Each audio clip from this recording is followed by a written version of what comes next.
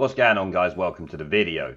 So last night we had the leaders debate on BBC and it was a complete bore fest. There was a few good points in it. We're going to take a look at one today and a couple of articles that are connected with this story. As some of you might remember, Boris Johnson pointed out that Jeremy Corbyn has supported the IRA for the last 40 years which is something I've pointed out on this channel many times. But what was most telling about that interaction was the fact that Jeremy Corbyn refused to say that he supported them until he was pushed again, much like the anti-Semitism debacle on the Andrew Neil show, where he refused to just straight up be honest. You know, the usual Jeremy Corbyn, because of course he's proud of what he done in terms of the IRA and supporting them against Britain, because this is what he does. Now, before we watch the clip, we'll take a look at the Mail's article, and then after the clip, we'll take a look at a Sun article which has just come to light regarding Jeremy Corbyn co sponsoring a Republican event with a convicted terrorist back in 1983 in his North London constituency.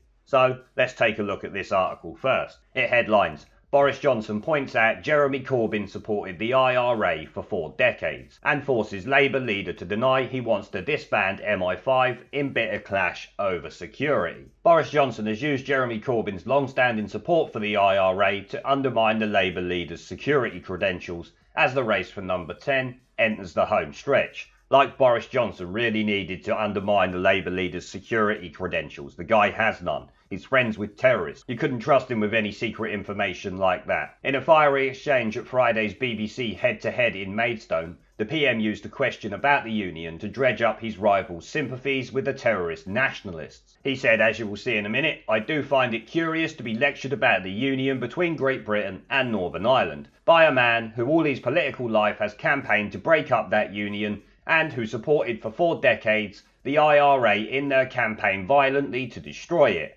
I must say, I find it a curiosity. Now, obviously, we find it more than a curiosity. It's absolutely disgusting and completely abhorrent that this guy's even able to run in the general election, if you ask me. Mr. Johnson's blistering attack prompted thunderous applause from the studio audience, who were otherwise relatively muted during the hour long programme. I wouldn't really call it thunderous applause, it was an applause, but it wasn't thunderous. Mr. Corbyn, who has been dogged by his relationship with the IRA since he became leader in 2015, deflected by veering the conversation onto Mr Johnson's Brexit deal. But he was later forced to rubbish one of the Tories' central attack lines that he wants to scrap the intelligence services. The Labour leader said, There are no plans to disband MI5. Yeah, there's no plans yet, but we know him and Diane Abbott would like to do it. Although there is questions as to whether she thinks it might be a motorway. The jury's out. Or is that racist? I don't know. I can't remember. Apparently, inferring someone might be a bit thick these days constitutes racism, but I don't know. When the leaders were asked about balancing the needs of security against human rights in the wake of last Friday's terrorism, Mr Corbyn said what happened on the streets of London was utterly appalling, and I very moved by what Jack Merritt's father said about what his son was trying to do. Yeah, and on the uh, Jack Merritt's father situation, the guy ran around screaming he didn't want it politicised, and then you can go and check his Twitter now and see him constantly politicising his son's death. It's absolutely disgraceful in my opinion, but it's not the topic of this video, so let's move on. As a matter of fact, I'm not going to read nothing out about it for that exact reason. And the rest of the article literally just goes on about other shit not related to this video. So let's check out the clip relating to this article and see Jeremy Corbyn deflect the question as is usual. Like I said, he did the same with anti-Semitism. Briefly, Mr Corbyn, for people who didn't hear the news, what are you claiming the documents show? And then we'll put it to Mr They show Johnson. quite clearly that there are going to be charges, there are going to be customs checks, there are going to be restrictions on trade between Britain and Northern Ireland. Thank you very much. Boris Johnson. Well, uh, actually, that is not true. The whole of the UK comes out. Uh, England, Scotland, Wales, Northern Ireland together. We do free trade deals together. Northern Ireland is part of the customs territory of the of the UK, and we are united. And I, I have to say, uh, I, I, think it's so a great opportunity for our country. And uh, it says so, unfettered access. I think is what it says. It says uh, unfettered access. Then all through it questions the, and, and question the fettering will, that will happen. That is what one, will happen. One at a time, please. And and that is and what the what the document uh, also says is that Northern Ireland is part of the customs territory of the UK. You know, isn't, that, isn't the problem, Mr. Johnson, that the DUP, say, the unionists who were your partners, they agree with him and not you? Well, they don't actually, because because uh, our deal is a great deal. Let me just make one one point. I do find it slightly curious, to say the least, Nick to be lectured about the union between Great Britain and Northern Ireland by a man who all his life uh, political life has campaigned to break up that union and actually supported for four decades the IRA in their campaign vi- violently, violently to destroy it. I, I, must say I find it a curiosity. Jeremy Corbyn, what's How your answer to about that? the Prime Minister showing a degree of honesty about the arrangements he's actually made with Northern Ireland? He spoke at a DUP conference and said there would be no restrictions whatsoever. We now know there are restrictions. He should and could have said that at the time. And so it is a question of openness on all of this. But being When- open, he says, you've supported uh, people who are opposed to the union your whole life. You don't even believe What in I've United done Kingdom. is always wanted to see a peace process in Northern Ireland, and that is exactly what we've got. And thank you to the Labour government that negotiated it after 1997. Now, gentlemen, briefly. Thank you.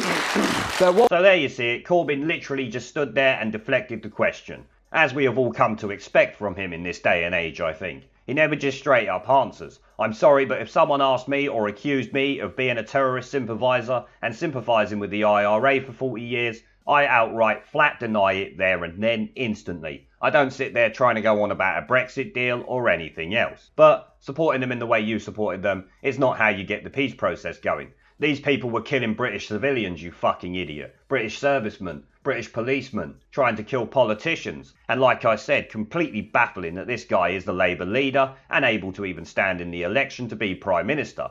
As a matter of fact, I'm shocked he's even allowed to be an MP. How can MPs be consorting with terrorists and still remain as an MP, an elected representative of this country? They shouldn't be allowed to stand. And then also when you factor it in with our next story that we have being reported by The Sun at the moment. Yes, I know no one likes The Sun, but they are reporting on it. They seem to have done the legwork on this story here. The Sun's article reads Terrorist sympathiser. Jeremy Corbyn co sponsored Irish Republican event alongside convicted IRA terrorists behind London bombings. Which is absolutely incredible considering Jeremy Corbyn himself is a London MP in charge of a London constituency. And obviously, as we know, the IRA were running around bombing London, while this dickhead co sponsors events with convicted IRA terrorists. It says fresh evidence of Jeremy Corbyn's links with the IRA can be exposed as The Sun reveals he co sponsored an Irish Republican event alongside a convicted IRA terrorist. The Labour leader was named as a sponsor at an Irish Solidarity conference in 1983, calling for complete British withdrawal from Northern Ireland. That's not all it was calling for. A fellow sponsor of the conference was IRA terrorist Vincent Donnelly, who at the time was serving five life sentences and was described as a prisoner of war on a pamphlet for the event.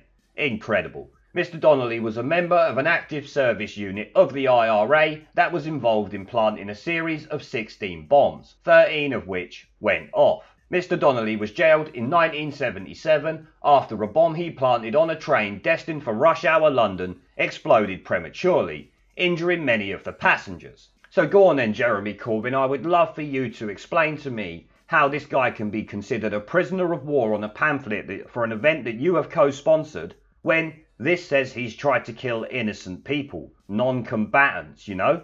That doesn't make him a prisoner of war. That would make him a war criminal if you want to go down them routes. But instead, he's just a terrorist. Now, he could be up in The Hague for war crimes if you really want to go on about prisoners of war. Because if you want to consider it a war and consider him an active participant in that war, he has openly and directly targeted civilians with this attack. That's a war crime. In his attempts to escape, he shot dead the train driver and shot and injured a post office engineer. He also shot at police. Well, we know that Jeremy Corbyn and the rest of these Labour shitweasels don't care about the old bill. People like Diane Abbott, we know what they're about when it comes to the police and the sort of things they would do with it. Removing powers, getting rid of MI5, the works. Mr. Donnelly was released in 1998 under the Good Friday Agreement. Should never have been released. He killed people, tried to kill other people, shot at police, and set off a bomb. I mean, come on. The pamphlet for the event, which took place in Mr. Corbyn's Islington North constituency on October the 2nd, 1983, called for all prisoners of war, like Mr. Donnelly, to be repatriated to Ireland. He is not a prisoner of war. I've gone over that enough. It's actually annoying that he was considered that. And it also demanded a referendum on uniting Ireland. Our revelation reveals further evidence of Mr. Corbyn's close association and solidarity with convicted IRA terrorists, with less than a week to go until polling day. But on Thursday night, Labour insisted Mr. Corbyn only supported the event because he was trying to bring about peace in Northern Ireland. A Labour Party spokesman said Jeremy Corbyn has always worked towards peace in Northern Ireland and represents a significant Irish community as a constituency MP. Okay then, so what's your excuse for supporting Hezbollah, Hamas and whoever else that you support? It's just bollocks. Come on, Labour. We know it's all bollocks. We know you're in an election thing. You got to try and defend him, but it's indefensible at the end of the day. He has also spoken about how the peace process in Northern Ireland has been a model for other countries trying to bring divided communities together on the basis of recognising different traditions. And this is the event poster here that he co-sponsored. Irish Solidarity Demonstration, complete British withdrawal from Ireland, self-determination for the Irish people, the right of repatriation for all POWs. They're not POWs. Build a united Irish solidarity movement. Saturday the 2nd of October 1983, from this time to this time. Caxton House, St John's Way, Archway, London, N19. Speakers. David Reid, Michael Holden, Alistair Logan, Mrs Hill and Helen O'Brien. Event sponsored by Vincent Donnelly, POW, fuck off, war criminal. If you want to call him a POW, he should be called a war criminal, but instead we'll call him terrorist scum. Graham Little, Jimmy Anderson, Ricky Wentham. Where is Jeremy Corbyn? There we go. Jeremy Corbyn, Labour MP. And then we have down here Keith Venz, Islington Labour Party councillor. Tony Rainford, Liverpool Labour Party councillor. Revolu- Revolutionary Communist Group, Revolutionary Communist League, Red Action, Scottish Socialist Republicans Club, Scottish Socialist Republicans Party, so the type of people you would expect there with the Corbynated chicken. We can see that his affiliations haven't really changed in 30 or 40 years. And here we have Jeremy Corbyn with Irish Republican leader Gerry Adams, Gerry Adams again, Martin McGuinness, Gerard McLaughlin there, Labour Chief John McDonnell and Jeremy Corbyn with Gerry Adams there, Jeremy Corbyn's Gerry Adams and Martin McGuinness at a Labour MP Tony Benn's funeral, Jeremy Corbyn meeting Sinn Féin leaders Gerry Adams and Martin McGuinness in the House of Commons. So there's all of them. These are probably more relevant to the times we were talking about in this video here, but it's pretty damning. We can see the sort of people this cunt consorts with and the things that he supports. He is literally the most abhorrent scum you could possibly bring there. Never mind the fact that he's Labour, Tory, anything like that, right, left. Just the fact that he supports terrorists and terrorist groups makes him the absolute scum of the earth, in my opinion. And the fact that, as you see in the video earlier, he didn't just flat out deny it makes me think that he's proud of what he done and would continue to do it again and again. It's absolutely disgraceful, and I can't wait for this tosspot to lose this election. Well, I actually hope he will. But on that note, I will end the video there, guys. I want to thank the channel's PayPal, Patreon, Subscribestar, and YouTube members for supporting the channel, along with everyone who watches my videos. Remember to let me know what you guys think down in the comment section below. Leave a like, subscribe with the notification bell, and share this video as it helps the channel a lot. And I'll see you all in the next one. This Parliament is a dead Parliament. It should no longer sit. It has no moral right to sit on these green benches. They don't like the truth. Twice they have been asked to let the electorate decide upon whether they should continue to sit in their seats while they block 17.4 million people's votes.